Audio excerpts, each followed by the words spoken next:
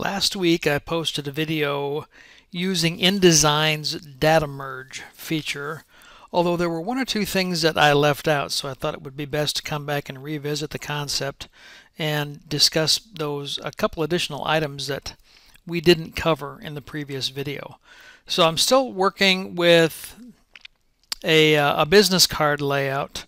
Uh, I've changed it up a little bit because the primary thing we're interested in doing this week is linking to images. We showed you how easy it was last time to link to text. We'll go ahead and cover that again just to show you the process.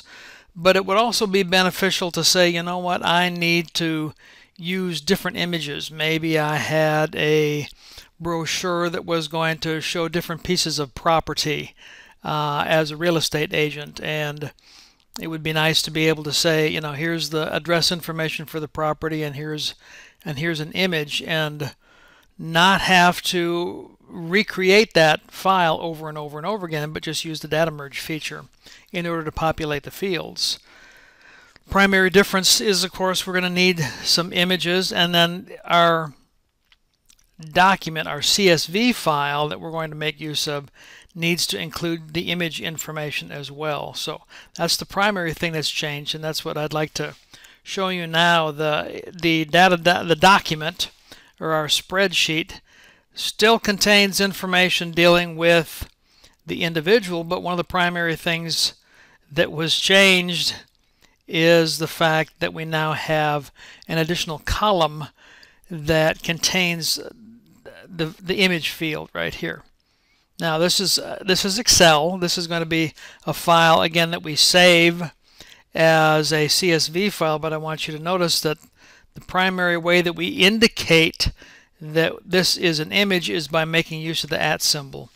Now one of the things that you're going to run into in Excel is if you begin a field with an at symbol, it assumes that what is going to be follow what is going to follow is going to be a function. And so the only way actually to overcome this is to put an apostrophe as the first character in front of the at symbol. You'll notice in the cell itself, in cell D1, the apostrophe doesn't show up, but if you look in the formula bar, you'll see that there is a single quote or an apostrophe in front of the at symbol. That allows us to put the at symbol in there and have Excel not assume that the information contains a function. And the at symbol is really all that's necessary for InDesign, once it's saved as a CSV file, to realize that what it contains is an image. So the word after it could be image, the word after it could be picture, the word after it could be graphic as long as the at symbol is the first character as far as the, the field name goes for that particular column. The other thing is, is it going to be a system path or in this particular case, is it going to be a relative path? In this case, it's a relative path, and it's really nothing more than the path between this CSV file and where the image exists. So in this particular case, both the CSV file and the images are contained within the same directory. So with that accomplished, with the file laid out with name, email, phone, and now an additional column that will allow us to put images in place. The primary thing that we'd end up doing was the same thing we mentioned before. Do a file to save as, choose the saving location where you would like this to go, and of course change the save as type to either a comma separated value, a CSV file, or we can also change it to a plain text file if we wanted to. In our case, we're just going to choose CSV, and it's already been saved we have our sales rep file in here uh, that contains our images and of course if I save over that it's just going to replace it.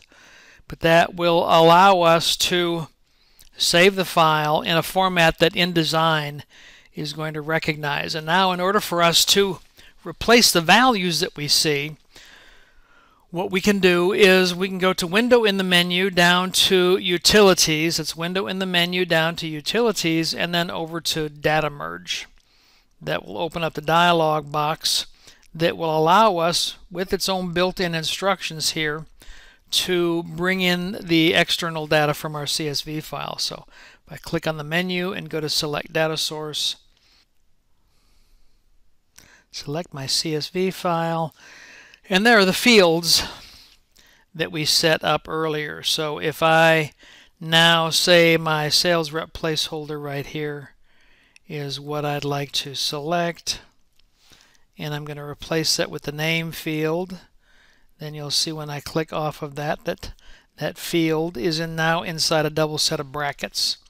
I can do the same thing down here for email. I've just chosen a random word. I've actually used the word placeholder to be to be the placeholder for where I want these fields to go. And I'll do the same thing for email and phone. And then there's one more placeholder that I have over here that will be for the purposes of image, for the, for the image itself. So now I'll go ahead and click on image in order to select that particular location. And if I wanted to, I could actually click preview. What preview will allow me to see is the information as well as the image. Now, part of what I want to change with the image is I want the image to actually fit appropriately. So what happens is when I choose the create merged document, I'll be presented with a dialog box. If you remember, we talked about this earlier, where I can say I'd like all of the records or a single record or I can supply a range, uh, whether I want the records to be in a single document or whether if, uh, whether I want those to be multiple records. Same thing can be done up here when we choose the multi multiple record layout. I can establish margins if I want to do so. Uh, that's only, by the way, if I've chosen multiple records over here before I go to the multi-record layout. Then I can choose my top, bottom, left, and right margins, whether I want it to be the first record will, will show up, or my records will show up as rows or as columns. And I can also establish the gap between columns or between rows. Uh, the other thing, though, that I was talking about is if I come over here to options, this is where I can say when the image is placed, do I want the image to fit proportionally or do I want to preserve do I, do I want it to fit the frame or do I want to preserve the frame and the image or do I want to fill the frame proportionally? That's the choice that I want. I want the image centered, which it will be, and I want to fill the entire frame proportionally. So I'll choose fill, fill frame proportionally. And if I wanted to, of course, I could do a preview same basic scenario, and if I move this aside, you'll see now that the image does fill the entire frame. So what I'll do is I'll go ahead now and click on OK. This is actually going to create a completely separate file. Uh, one of the things that the original dialog box mentioned was uh, notifying you if, if there was going to be any overset text, which there's our notification telling us that there is none. And if I kind of minimize the data merge dialog box or a panel. Now I can see that I have the individual files for each of the, in this case, sales representatives and a different image on each of these three individual business cards. So simple enough as far as putting an image in place. The key is adding an additional column to our data file and the header of that particular column beginning with an at symbol. That's what InDesign recognizes as the option to place an image in that particular location.